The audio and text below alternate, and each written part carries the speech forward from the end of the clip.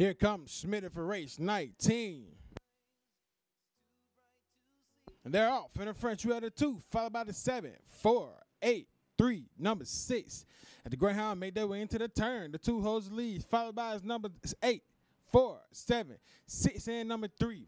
As they're making their way into the back stretch, the two still holds the lead, followed by his number eight, four, six, seven, and number three. As they come into their final turn, the two still holds the lead, followed by his number eight, four, six, seven, three. Making their way to the home stretch, the two. So Yang still has the lead. When it gets down to the ride, gonna be two, eight, six, seven,